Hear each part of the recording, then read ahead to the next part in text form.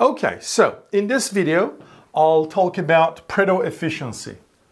All right, Pareto efficiency.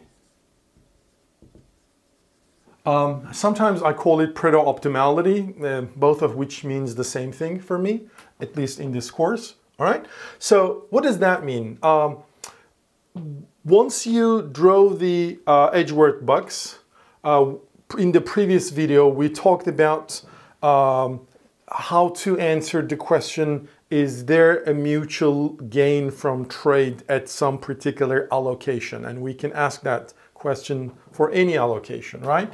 So if the answer to this question is yes, well, then the allocation is not Pareto efficient. If the answer is no, the allocation is Pareto efficient. So let me uh, formally define.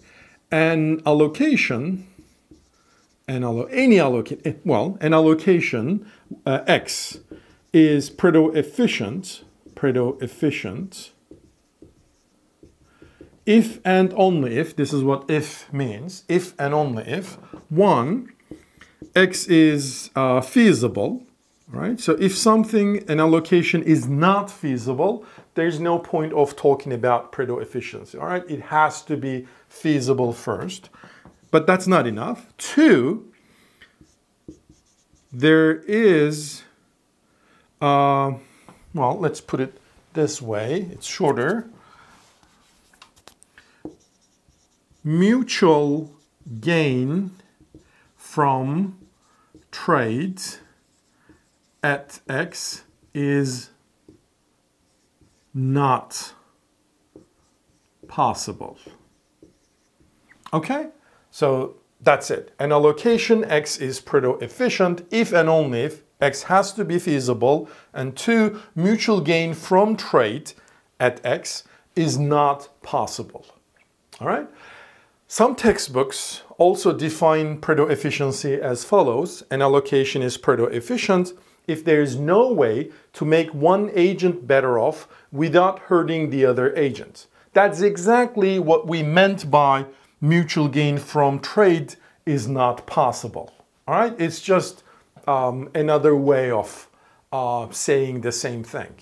All right, so I'm going to stick to this definition. An allocation X is Pareto efficient if and only if X is feasible, and two, mutual gain from trade at X is not possible.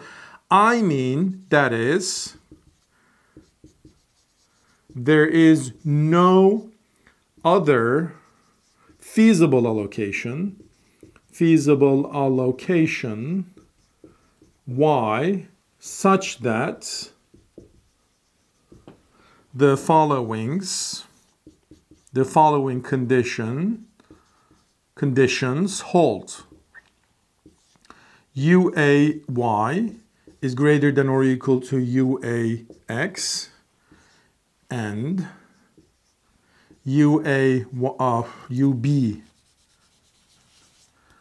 um, uby greater than or equal to ubx and one of these inequalities are strict. One of these inequalities inequalities is strict.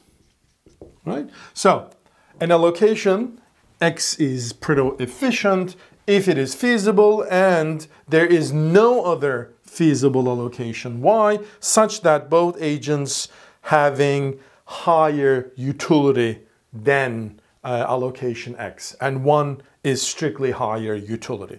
I mean one the agents are i mean there's a win-win situation all right? So if we trade if we exchange we both can win. If there is uh, if there is no such situation well then it is Pareto efficient Okay, it's Pareto efficient, so it's efficient.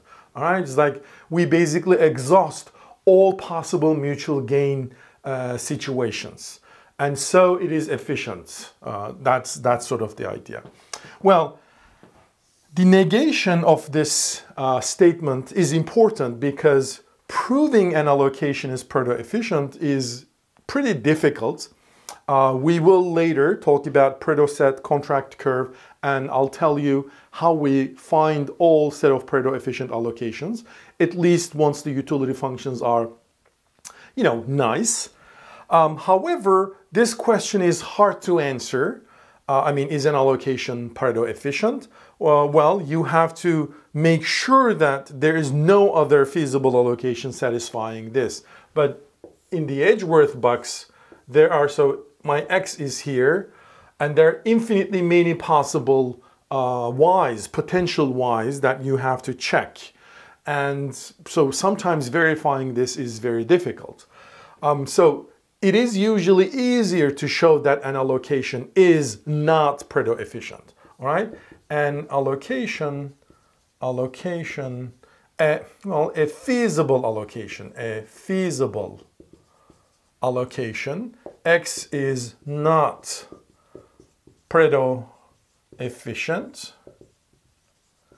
If and only if um, there is um, well, let's let's put it this way: mutual gain,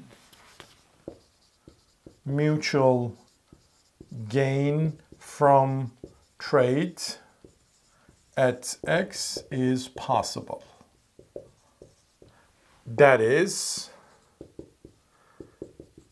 there exists a feasible, a feasible allocation allocation y such that the following conditions hold u of y greater than or equal to u f x. So agent A having higher utility, um, agent B also having higher utility, UBX, and so this is and, and one of them is strict, is strict.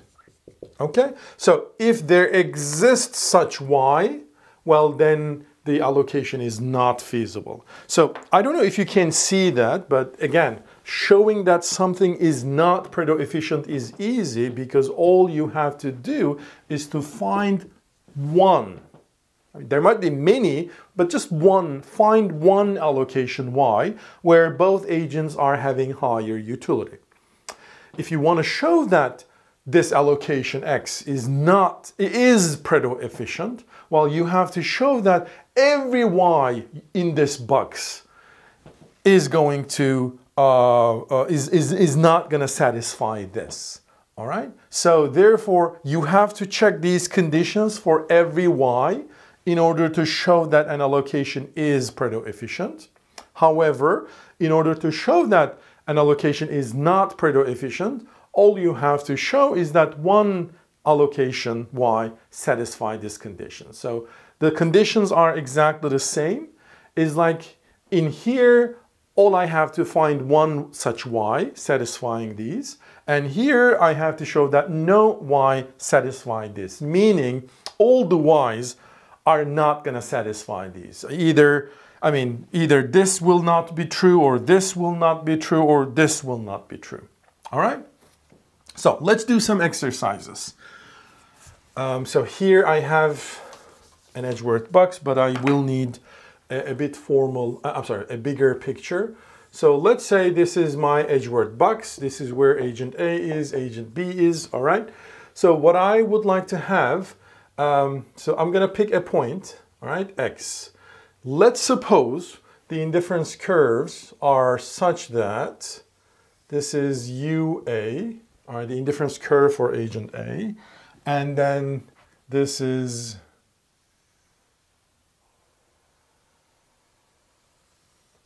UB, okay? So they're tangent to each other at infinitely many points, all right?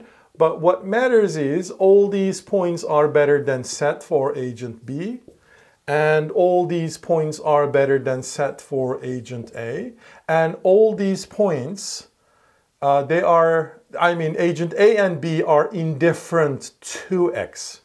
So the question is, are there any Y where both agents are having higher utility? Well, here, if you pick your Y here, all right, so if Y is in this region, in this blue region, well, it's going to make agent B happier, so this is going to hold, but this is not going to hold because it means the lower indifference curve for agent A.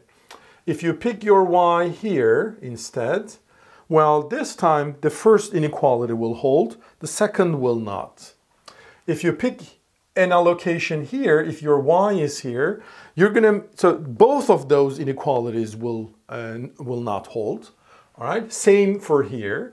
If you pick your allocation here, all right, if this is where your y is, where the indifference curves of agent A and B are tangent to each other, well, what happens is that uh, both agents are having exactly the same utility, so these inequalities are actually going to satisfy, but the third condition will not be satisfied. So you have to make at least one agent um, strictly happier, all right? I mean, think about this. It's like we start X and then we do some exchange. You give me bananas, I give you apples. And at the end, we end up at point Y, but the thing is, is like uh, both of us are indifferent between X and Y. So then the question, why did we make any trade? I mean, it really doesn't worth it. So therefore, there is really no Y and, and, and that will make both agents happier and at least one of them strictly. It means mutual gain from trade is not really possible